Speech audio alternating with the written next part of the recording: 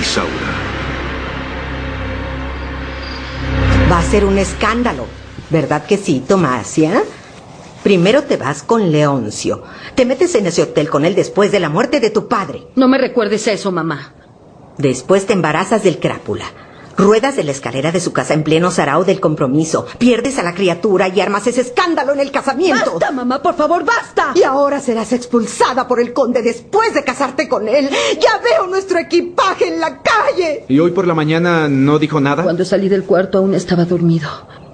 Confieso que yo no pude dormir después de que me habló de pedir la anulación del matrimonio. Ay. Ay. Buenos días. Buenos días. Buenos días. Despertó más tarde hoy, señor conde. Tuve insomnio anoche. Pero tomé una decisión muy seria. Ay. ¿Y cuál es tu decisión? Isaura, quiero decirte que juré sobre el cuerpo de mi suegra que el último deseo de ella será cumplido. Tú serás libre. Se lo agradezco, señora Malvina. Mi padre debe estar por llegar con el notario. Pero es una pena. Es una pena que voy a recibir mi carta de libertad justo en este día. Ten calma. Tu madrina habría querido verte feliz. Yo quiero despedirme de mi madrina. Hola, hija mía. padre. Amigo mío. Amigo mío. Cuanto supe. Se lo agradezco. Yo conozco ese dolor. Yo sé qué difícil es despedirse de la compañera de toda una vida. Ni me diga, compadre, ni me diga. Leoncio, tu madre era una gran mujer. Pero como dice Jesucristo, aquel que cree en mí, aunque esté muerto, vivirá. Creo que será mejor dejarlos a solas. Con permiso. Con permiso.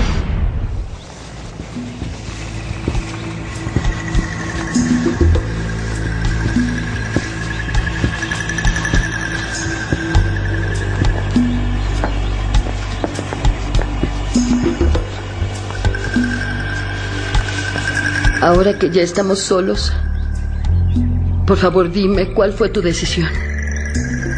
Estoy muy enfadado contigo, Tomasia. Tú me mentiste. ¿Cuándo? Dijiste que tenías una sorpresa. Era una sorpresa. Yo quería hacer una buena acción, liberar a aquella esclava, ayudar a su padre que hace 20 años lucha por la libertad de su amada hija. Yo iba a contarte todo, te lo juro. Me mentiste. Me mentiste diciendo que era una cosa, una sorpresa que me iba a agradar. Yo no quería lastimarte. Lo que querías era venganza, quitar a aquella mujer de las manos de aquel crápula. No lo hice como venganza. ¡Mentira! Te digo la verdad. Estás mintiendo a ti misma. Pues muy bien, esposo mío. ¿Cuál es tu decisión? Que ya no confío en ti. Que debí... Que debí pensarlo mucho más antes de casarnos. Que tomé una decisión apresurada. Entonces estás queriéndome decir Que quiero separarme de ti.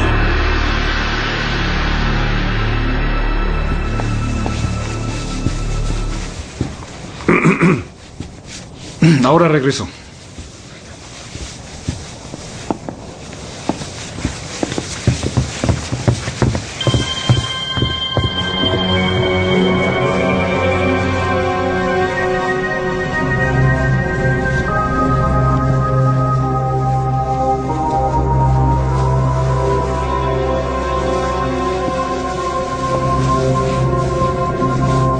El señor Chico subiendo con el señorito Leoncio. Él casi nunca ha pasado de la puerta. Pero hoy es un día diferente, Rosa. No lo sé. Esto me da mala espina. Sí. Pensándolo bien, tienes razón. Es muy extraño que Chico suba así con el señor Leoncio. Aquí está todo, señorito. Ya tomé mi parte y pagué a mis hombres. ¿Lo contaste, chico? Ahí hay 15 mil reales. Aquí hay mucho más que eso. Está mi felicidad que vale mucho más que 15 mil reales. Ahora sal que necesito guardar este dinero. Sí, señor.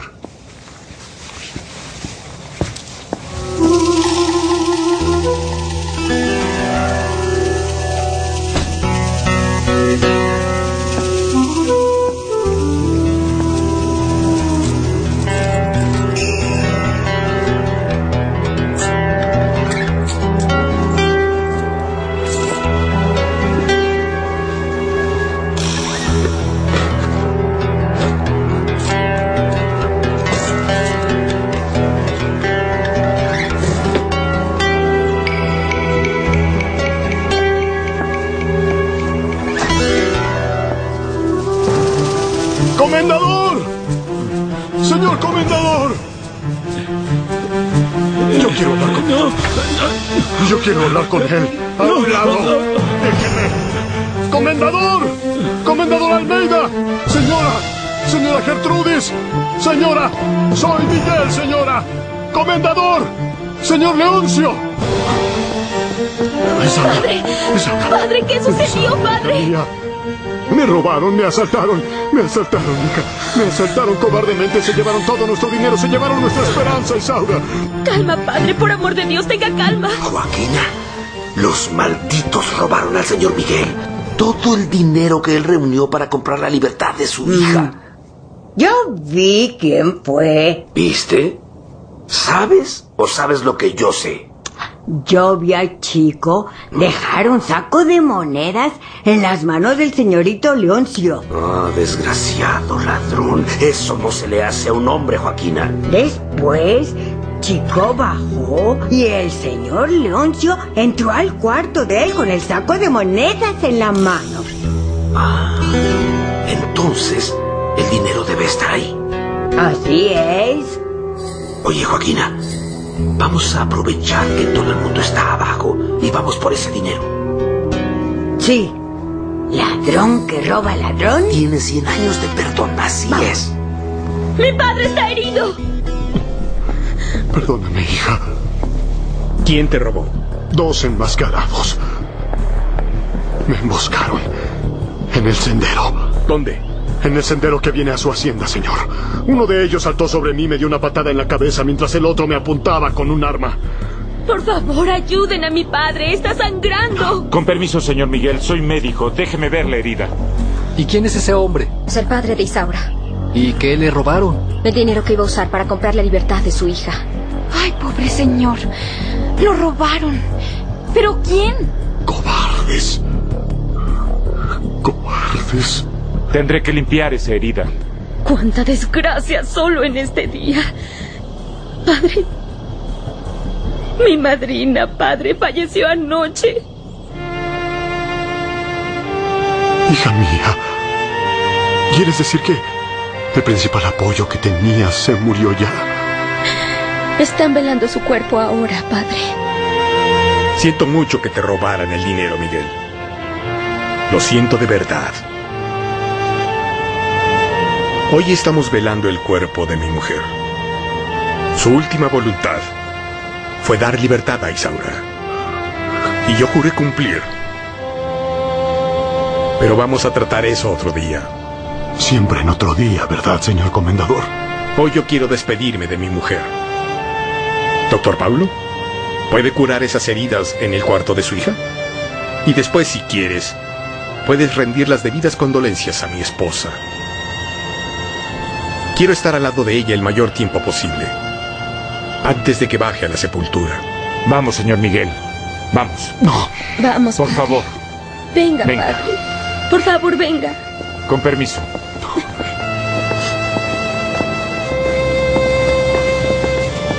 Francisco, Sí, señor comendador. ¿fuiste a buscar al notario? Sí, fui por la mañana, pero él no pudo venir. Tenía otro problema que resolver en el registro. Ay, ustedes, ustedes. Ya no sé ni qué hacer.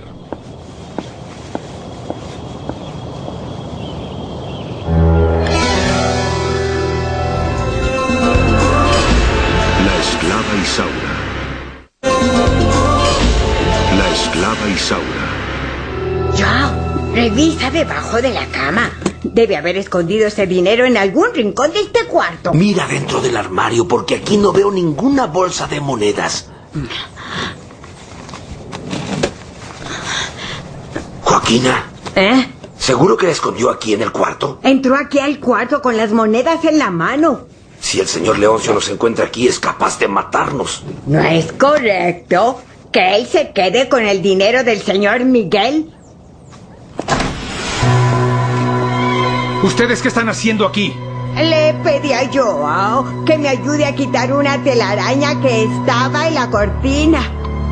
¿Dónde está Joaquina? Ya la quitamos.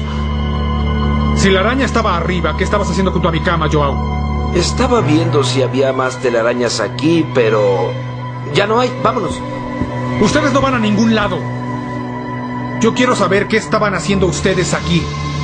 Hablen, estoy esperando. Doña Malvina hace días dijo que había una telaraña grande aquí y me dijo que la quitara. Yo le dije, la araña no es venenosa, solo come mosquitos, pero dijo que la quitara. Yo le pedí ayuda a Joao porque él es alto. Le voy a preguntar todo esto a Malvina.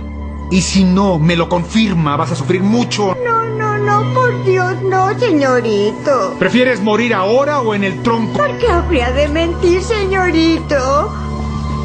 Ay, señorito. Mueve esa arma porque puede dispararse. Si se dispara, te haré estallar los sesos. ¿Por qué el señorito está haciendo esto conmigo? De espaldas, con las manos arriba. Tú también. Rápido, rápido.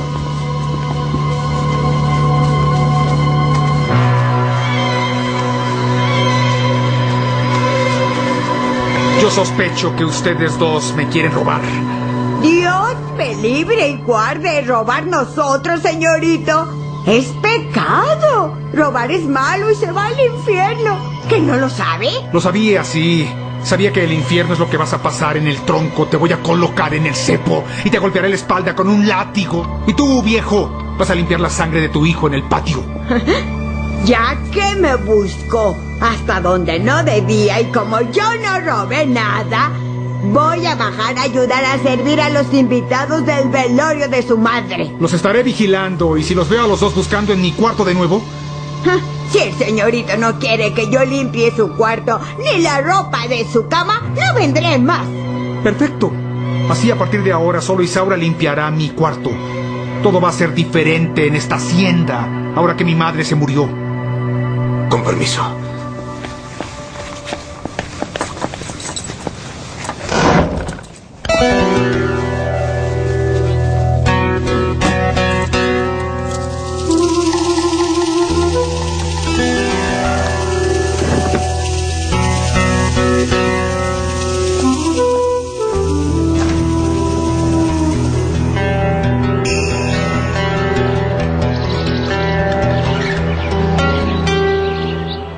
Ya no me amas. Te amo. Te amo más de lo que quisiera. Y aún así vas a pedir la anulación de nuestro matrimonio. Yo te amo, Tomasia. Pero ya no confío en ti. Amor y confianza no pueden estar separados. Maldita la hora que presté aquel anillo al señor Miguel. Tú pusiste ese anillo en venta, nuestro anillo de compromiso, para quitar a una esclava de las manos de tu examante. Fue con una buena intención. ¡Ja! De eso el infierno está lleno. De nuevo el escándalo, ¿no? Apenas nos casamos y ya quieres anular el matrimonio. A los escándalos tú ya debes estar acostumbrada. Tuviste muchos en tu vida. Ah, ahora eres irónico. ¿Te burlas de mí? Primero el escándalo de la quiebra de tu padre. ¿Y qué culpa tengo de las locuras de mi padre? Después el escándalo de unirte con Leoncio Almeida. Si me crees tan escandalosa, no sé cómo quisiste casarte conmigo. Ahora quieres echarme en cara todas mis desgracias, una por una, ¿verdad? En nuestra luna de miel, en nuestra noche de bodas, tuviste la osadía de pronunciar el nombre de Leoncio en el hecho. Ya te dije que fue una pesadilla. Tú desobedeciste, mentiste. Yo no mentí, solo omití. No lo mismo. Quiero la separación. Ya entendí.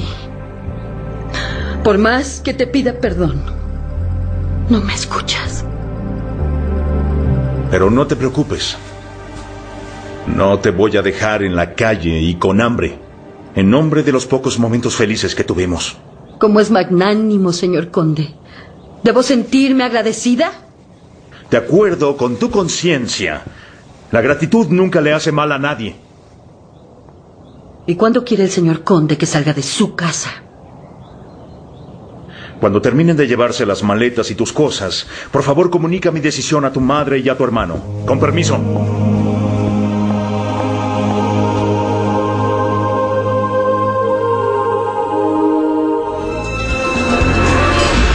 La esclava Isaura. La esclava Isaura. Ay, fue una gran mujer, mi comadre. Ay, ya no sé cómo va a ser mi vida ahora. Sin ella. Descansó, compadre. Descansó. Y con certeza será muy bien recibida en la casa del Señor. Elena, ¿ves a aquella esclava de ahí? ¿Aquella morena bonita? ¿Cuál? Ah, la más clara. Sí, la estoy viendo. Su nombre es Rosa. Dice que es nuestra hermana. La esclava dice que es nuestra hermana. Hija de nuestro padre con una esclava que tenía. ¿Eso es verdad? No lo sé. Pero ahí viene nuestro padre. Vamos a preguntarle. No, mejor no, Enrique. Puede no gustarle. Padre. Padre. ¿Es verdad que aquella esclava es nuestra hermana? ¿Quién te dijo eso? Enrique y Malvina. O ellos están jugando conmigo. ¿De dónde sacaron ustedes esa estupidez? Un pajarito me lo contó al oído. Déjate de bromas, muchacho. Responde a tu padre. Yo tuve una plática con la esclava mientras ella estaba arreglando mi cuarto. Mm, ¿Qué tipo de plática fue esa, Enrique? No seas mal pensada, Elena. Fue solo una charla. ¿En esa charla las manos también hablaban? No sucedió nada. Primero porque la verdad yo quiero a Isaura. A ella la amo. Y después porque la esclava me dijo que era mi hermana. La esclava tuvo el atrevimiento de abrir la boca para decir eso. ¿Es verdad, papá? Bueno, la madre de ella... Sí, fue mi esclava, sí. Pero de ahí a que sea mi hija es otra cosa. Rosa, ve al pórtico. Necesito tener una conversación contigo. Sí, señor.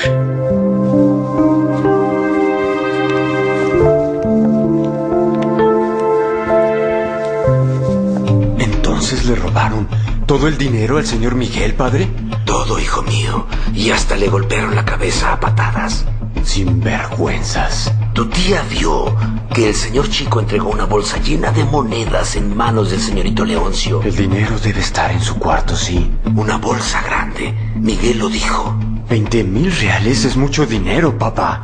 Y pesa. Mm, No debe estar cargando con eso, no. Debe estar ahí en el cuarto, ¿verdad? Entonces yo voy a recuperar ese dinero. Hijo, hazlo cuando todos estén en el funeral. Pero cuídate mucho. Cuídate porque si, si ellos llegan a atraparte allá, él te hará una maldad muy grande. Si Dios me ayuda, yo voy a traer ese dinero de vuelta para el señor Miguel y para Isaura. ¿Tú tuviste el atrevimiento de decirle a mi hijo que eres hermana de él? El señorito Enrique me encontró en el cuarto y empezó a querer aprovecharse de mí. ¿Aprovechar qué y cómo? ¿De qué manera? Usted sabe. Si yo supiera, no estaría preguntando. Él empezó a decir que que es un hombre y que tenía necesidades y que yo soy muy bonita y cosas así. ¿Y qué respondiste? Respondí que conmigo no podía. ¿Y por qué no? Usted sabe bien por qué. Eres muy atrevida, en verdad. Mi madre, que fue su esclava, le dijo a todo el mundo que soy hija de usted. Solo eso me faltaba ahora, tener una esclava que me llama padre. Usted mismo dijo frente al comendador que podría ser su hija, que que creía que que había muerto. No tenías por qué hablar con mis hijos, esclava aprovechada. Nunca más abras la boca para decir que eres mi hija, ni hermana de tu señora, ni de mis otros hijos. Si usted no quiere, no lo haré más. Josefa, tu madre, del mismo modo que se metió conmigo, pudo haber estado con otro hombre. Disculpe. Pero mi madre no tenía por qué mentir después que le tiraron todos los dientes y la mandaron acá a la hacienda del comendador. ¿Y ahora por qué esa cara de llanto? ¿Por qué? ¿Por qué? Porque yo soñé mi vida entera que un día iba a encontrar a mi padre. Yo sabía que él era un gran señor, un coronel. Entonces cuando lo encontré a usted, el hombre que mi madre dijo que era mi padre, usted solo sabe llamarme insolente y atrevida. Me manda a cerrar la boca y que nunca más hable del asunto. Eso mismo, esclava. En boca cerrada no entran moscas, ¿oíste bien? Eres petulante, impertinente, insolente y atrevida, sí. Mi mayor sueño era un día tener un padre que me diera cariño y protección, igual que doña Gertrudis siempre hizo con Isaura. Si vuelves a decir que eres de mi familia, te daré con el fuete en tu cara. ¿Oíste bien? ¿Oíste bien? Ahora basta de esos lloriqueos y aléjate. Vete. Vete. Hasta luego.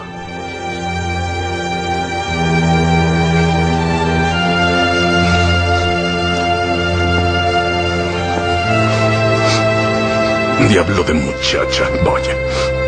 Pero qué descarada. La esclava Isaura. Isaura. Gracias, doctor. Es curioso, tengo la impresión de que lo conozco de algún otro lugar, no sé. Claro que sí. En su venta de carne en la ciudad. Yo compré carne allá.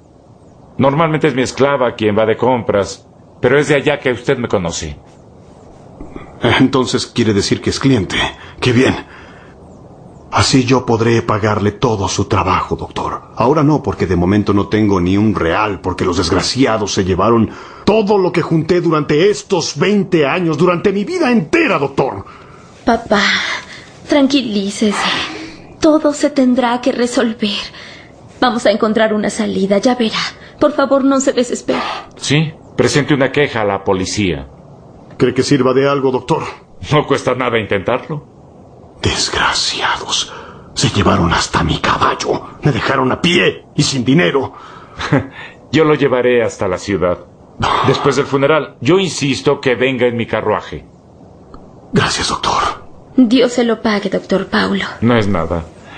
Bien, debo volver al salón. El funeral de doña Gertrudis será muy pronto. Iremos enseguida. Muy bien. Gusto en conocerlo, señor Miguel. El gusto es mío, doctor, y una vez más, muchas gracias por todo. Con permiso, Isaura.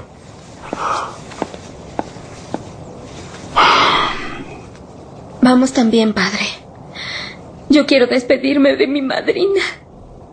Ay, hija, yo quería tanto poder darte una alegría ahora, Isaura. En este momento tan difícil, yo quiero verte libre, hija.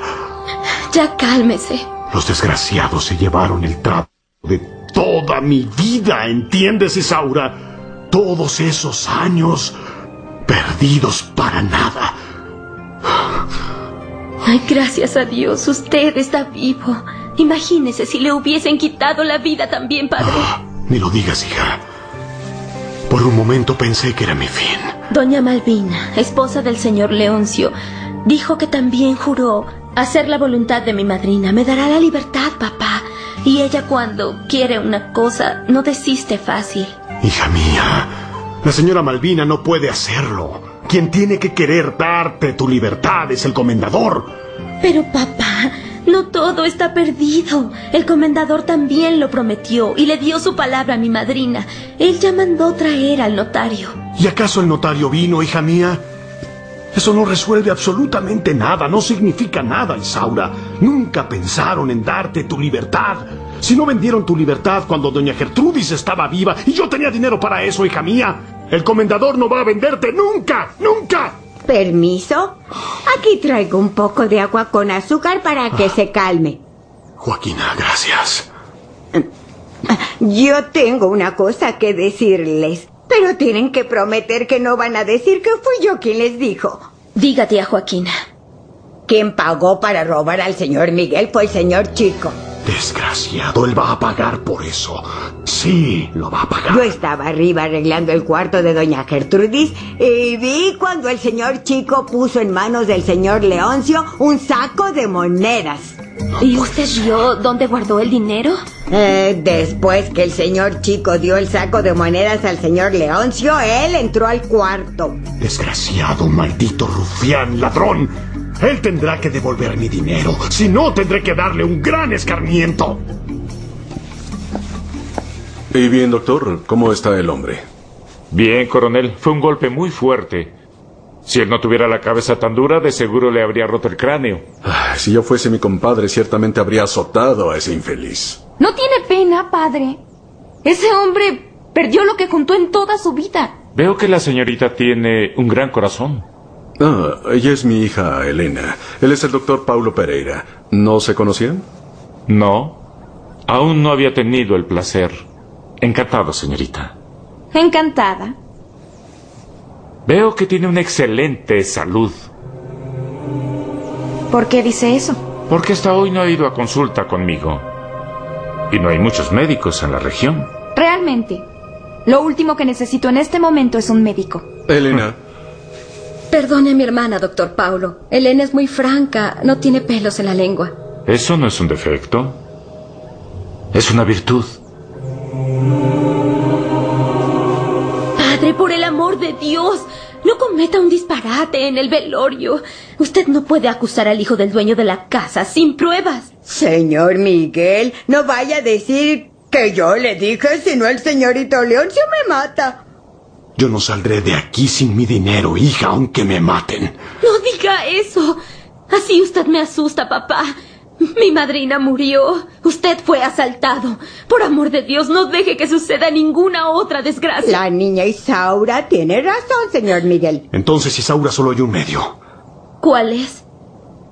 Que huyas conmigo, hija mía. ¿Cuándo? Ahora, cuando todos están ocupados en el funeral. No, no, yo no puedo, padre, sin antes sepultar a mi madrina.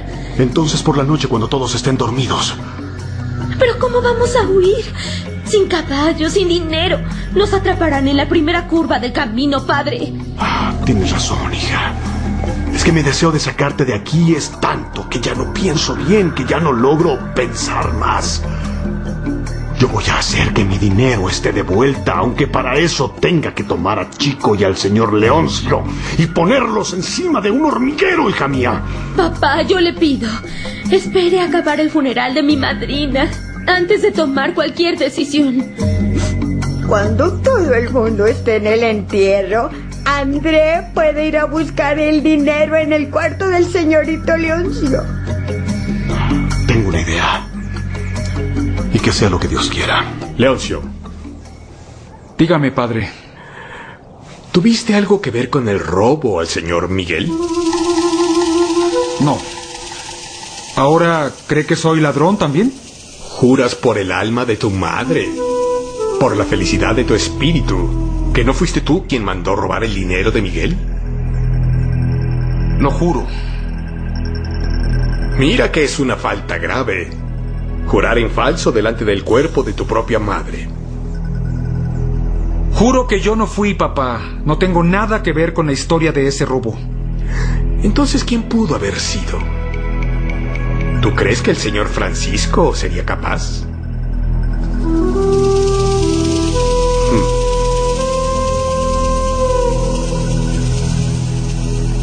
No lo sé. Pero también podría haber sido un truco del bellaco de ese Miguel para aprovechar nuestro dolor y tratar de llevarse a Isaura sin pagar. No, no, no, no, no. No estaba fingiendo. Él estaba realmente asustado, fue atacado y herido y muy desesperado por causa del dinero robado. No, Esta vez él no estaba fingiendo. Esta vez no. Usted no estará pensando en dar la libertad de Isaura gratis, ¿o sí? Era la última voluntad de tu mamá. Mi madre ya no está aquí entre nosotros. Usted no va a querer cumplir una petición tan absurda, ¿verdad, padre? Leoncio, por favor. Exijo respeto. En memoria de tu madre. No se puede llevar adelante una petición que ella hizo cuando agonizaba. Ella ya no está aquí para cobrar sus promesas. Yo voy a realizar el último deseo de ella. Padre, cuando el acreedor muere, las deudas se van con él. Sin vergüenza. No respetas ni el cadáver de tu propia madre. Es una locura entregar a Isaura y gratis, a cambio de nada. Si al menos fuera para recibir dinero. No es hora de hablar más de ese asunto. Estamos velando el cuerpo de tu madre. Fue usted quien tocó ese asunto. Pues entonces ve a rezar. Y déjame en paz.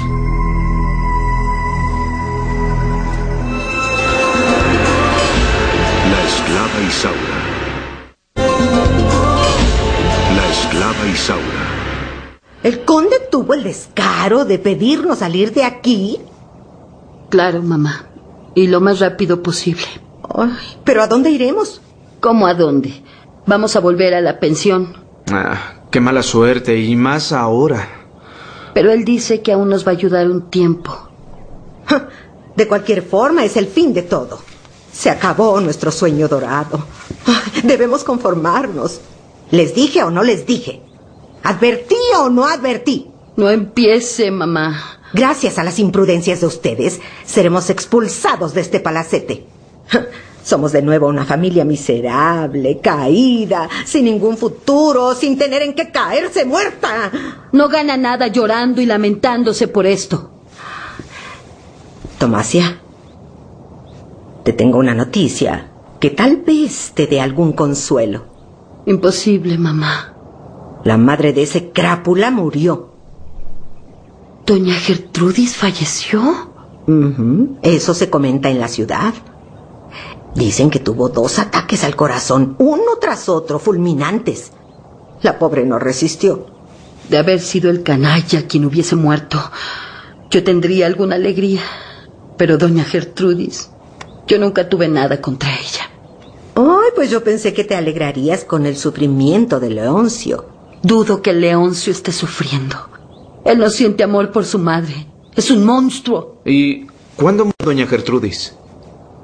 Hoy en la madrugada. El entierro va a ser a las cinco de la tarde en la hacienda del comendador. Elena, de seguro se presentará en el funeral. Gabriel, ¿no estás El pensando... coronel me prohibió ir a su hacienda, pero no a la hacienda de los Almeida.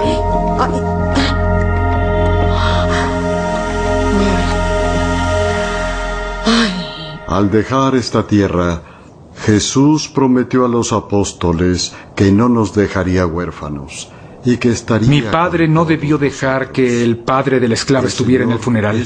Cuando acabe todo, lo sacaré de aquí, señorito. Debí haber insistido más en que acabaras con él. Me hará descansar. Sí, está mirándome de un modo muy extraño. me pastoreará. Nos mira a los dos. Confortará mi alma. Aún tengo tiempo de Me completar el servicio. sendas de justicia. Te doy mi apoyo, chico. Y un pago extra por el servicio. muerte, no temeré En la primera oportunidad lo haré. Bienaventurados los que tienen. Otra cosa. Encontré a Joao y a me en mi cuarto hace aliento. poco. Pon unos Aderezarás guardias aquí en la casa durante el funeral frente a mi cuarto. Estoy pensando que los esclavos van a querer hacer alguna cosa. con. Puede contar conmigo, señor. Rebosando. Ciertamente el bien y la misericordia Voy a extrañar mucho a doña Gertrudis. Era como si fuera una flor, suave, delicada, perfumada. Y a mi madre, señor. Usted la recuerda, ¿verdad? ¿Por qué no habría de recordarla? Me gustaba mucho la afinada Manuela. ¿Usted sabe cómo fue que ella murió? Sí, yo lo sé, sí. Pero creo que es mejor que no te cuenten nada. Mi madre murió envenenada, ¿no es así, Belchior? Ah, Algún día alguien te contará todo, Andrés. ¿Y fue Chico quien le dio la bebida envenenada a mi madre? No, yo ¿Eh? no sé. El señor Chico es muy malo. Cuénteme, señor Belchior. Yo era un niño cuando mi madre murió. Estaba jugando junto al río con otros niños. Y me vinieron a decir. Yo no sé cómo fue que sucedió. Fue muy triste aquel día. Así fue. Entonces hable, señor Belchior. Yo lo sé. Muy bien. Todo lo que pasó. ¿Lo sabe? Entonces diga. Yo quiero saber para vengar la muerte de mi madre. Vas a cavar tu sepultura si te cuento. No tengo miedo. Quiero saber la verdad. Eh, Te voy a contar, pero no, no, no porque yo te quiera. Tu madre sí, me gustaba, pero tú no. ¿Y por qué usted no me quiere? Por celos. ¿Qué? ¿Celos? ¿Celos de quién? De la niña Isaura. Ella te da mucho cariño, mu- mu- mucha atención para ti. Yo la quería solo para mí. Y a la niña Rosa también. E- Ella te quiere a ti y a mí no me quiere. Pues yo...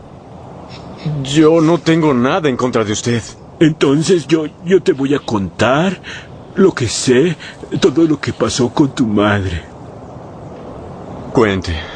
Tu madre murió envenenada, es verdad. Yo vi cuando el señor chico le dio a ella la garrafa con aguardiente. Entonces yo tomé la garrafa que el señor chico le había dado a ella y después me fui a un rincón y di de beber al perro. El perro que al señorito Leoncio más le gustaba. ¿Y el perro? Murió. Del mismo modo que tu madre. Fue ahí que supe que... que tu madre había muerto envenenada. Muchas gracias, señor Belchior. Era todo lo que necesitaba saber. Estoy seguro de lo que voy a hacer.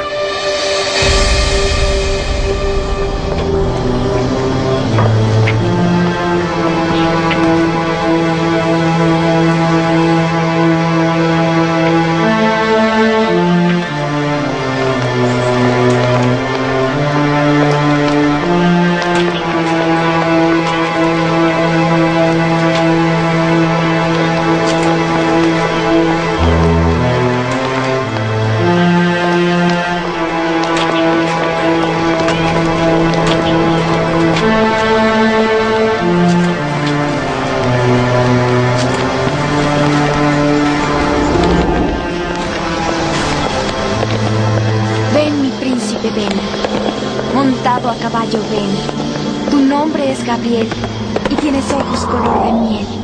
¿Estás hablando sola, Elena? No, solo estaba pensando. ¿En qué? En el amor. Soñadora.